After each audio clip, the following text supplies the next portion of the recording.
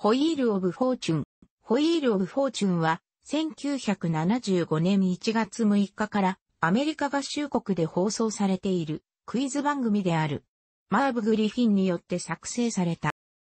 もともとは1975年1月6日から NBC と CBS で昼間のゲーム番組として放送されていたもので、1983年9月19日からの制作でバンハンネットが開始された。2006年9月放送分から HD での制作になった。CBS の人気クイズ番組、ザ・プライス・イズ・ライトや同じシンジケートのクイズ番組、ジェパディと並ぶ看板番組となった。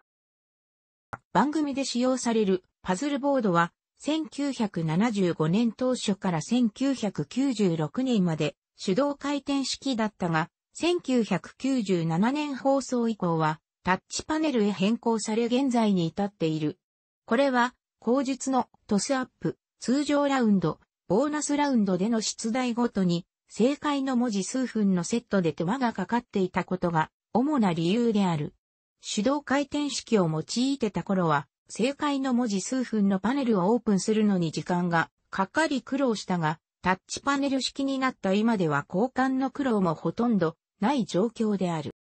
また収録時間も長引いていた最大の原因だった。回転式がなくなり、後先の収録にも影響しなくなった。パズルボードに隠された。最大52文字からなる。フレーズを、フレーズが属するジャンル、物の名前、行事、地名、歌詞など、ジャンルは先に提示されると徐々に明らかになっていく文字を元に推測する。言葉当てゲームを3人、組の参加者で行う。フレーズを明らかにしていく過程で、各参加者は、ホイールと呼ばれる、レッドを回して、賞金を獲得し、獲得賞金の多さを競い合う。ハングマンという単語当てゲームがベースとなっている。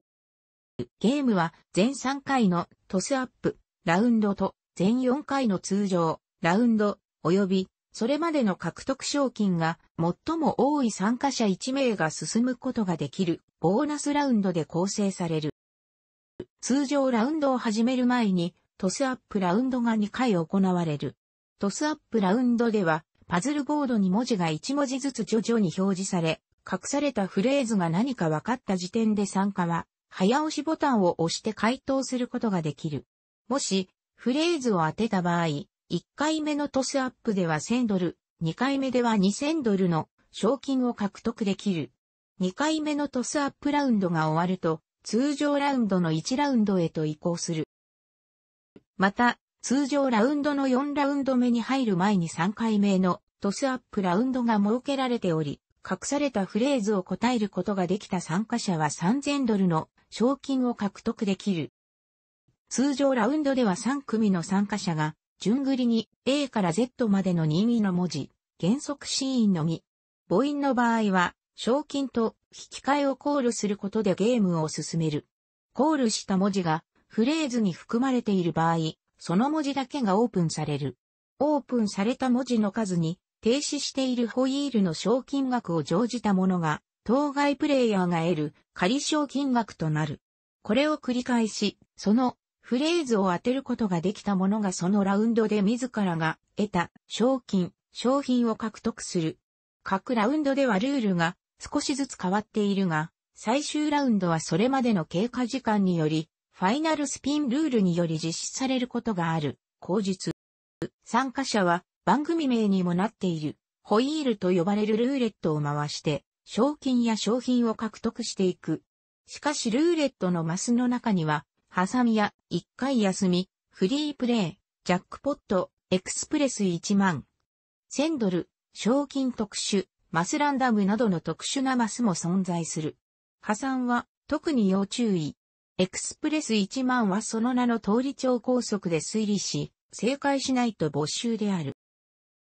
なお、以下の状況に該当した場合は、ホイールを回す権利、及び回答権が次のものへ移行する。第4ラウンドにおいては、それまでの経過時間との関係で、ファイナルスピンルールが採用されることがある。鐘の音とともに開始され、以下の手順により進行する。特別ラウンドのため、バンクラップットは発生しない。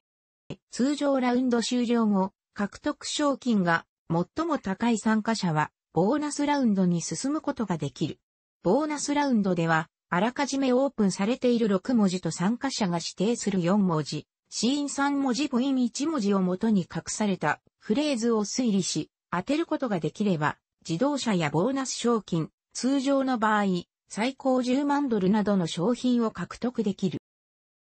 2008年10月14日の放送で、ボーナスラウンドで100万ドルを引き当てた女性出場者が番組開始以来初めてとなる100万ドル以上の賞金を獲得。通常ラウンドで獲得した賞金を含む102万6080ドル、当時の日本円で約1億3、630万円を獲得した。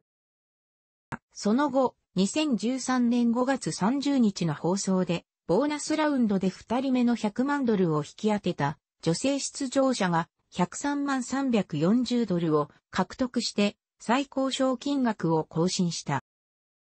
なお、この賞金額を得るためには以下の条件を満たす必要があるため、至難である。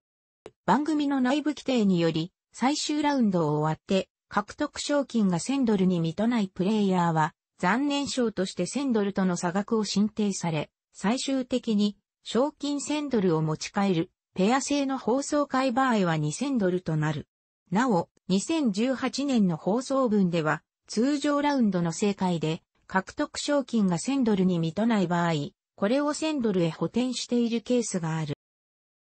2012年現在ほか、海外旅行、家庭用品、ホテルディナー券などもある。番組の公式サイトから取得、楽しくご覧になりましたら、購読と良いです。クリックしてください。